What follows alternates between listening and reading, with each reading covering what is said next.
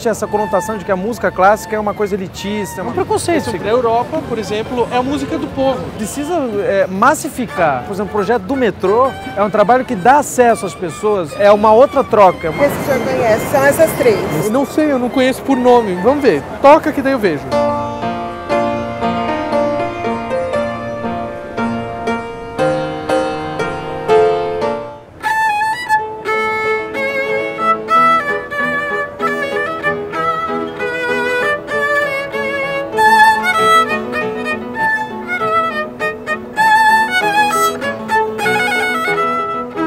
É chique, né? Chique, chique. Você vai às vezes nos concertos, música- acaba não sendo concerto de música clássica, é desfile de joia, desfile, Desfile de de moda, vestido, né? desfile de. Você vê que o objetivo é outro. Lá fora, você vê as pessoas mais vão com roupas depois do trabalho. Sai do trabalho e vai direto. Tá indo pro cinema, tá indo assistir o concerto. Exatamente. É a mesma coisa.